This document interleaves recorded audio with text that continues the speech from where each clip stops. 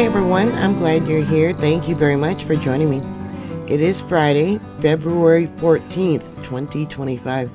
In my last video, I got the day mixed up. I said it was Saturday, not Friday, because the kids are home for school because of a holiday here. There was a small earthquake yesterday along the New Madrid fault system.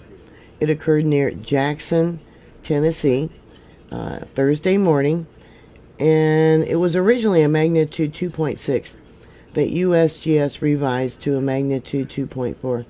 It occurred at 10:38 a.m. local time. USGS gave it an intensity level of 5.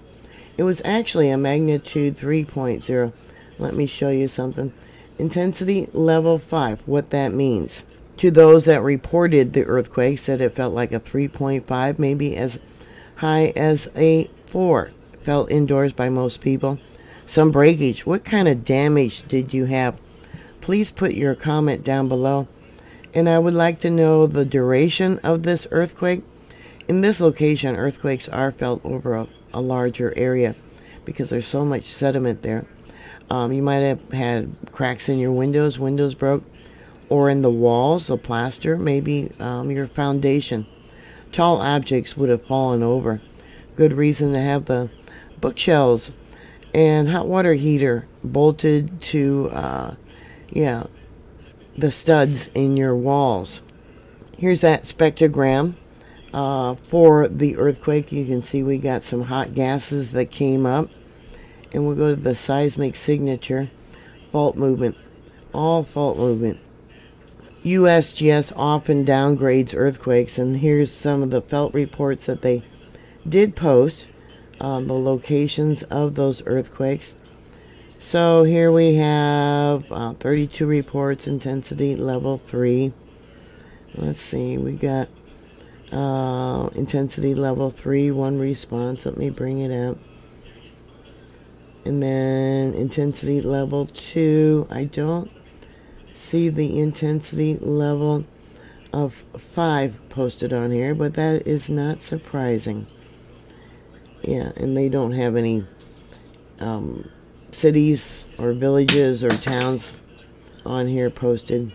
So those of you that have larger computers, I'll bring it down so you can see that it was in fact a magnitude 3.08. There is another earthquake right here that is not being reported. I'll bring it back up. Long duration prior to this earthquake. And we got quite a bit of popping going on. Let's see. This one could have been as large as a magnitude 2.15. And I'll bring that down. If you look at the bottom, it says MD 2.15. And we got a lot of little popping going on. Let me close this out. This is what it was showing when I pulled the files this morning. We got some pop in here.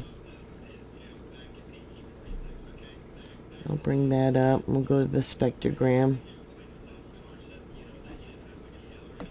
And we got some more pop in here. None of these are being reported, and we got a little bit larger one, it looks like. Um, right there.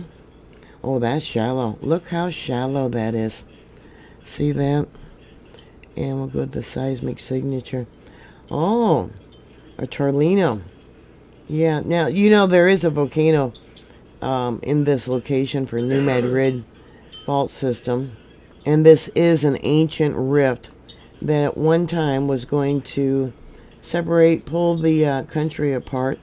let's see, we got Reelfoot here. Try and find that ancient volcano. There it is. Hicks Dome. And I'll bring it out. So you can see, here's the uh, 2.4. And there is the location of Hicks Dome. Yep, lots of earthquakes in diverse places lately. Um, I did a report about um, earthquakes there in California. After I did the report, shortly after there was a, a larger one. So it was so close after I posted I didn't do the update for the uh, earthquake over there. But I would like to know what was your experience?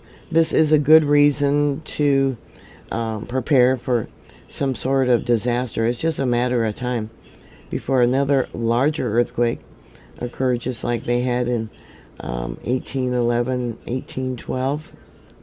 All these ancient fault lines are being reactivated of late. Let me bring this in. There's Jackson right down here. Thank you very much for watching. Please like, please share. Yeah, please share this video. I help with the ranking on YouTube. You know, because of all the uh, censoring that goes on. Please thumbs up the videos. And I'll talk to you later. God bless you. Bye.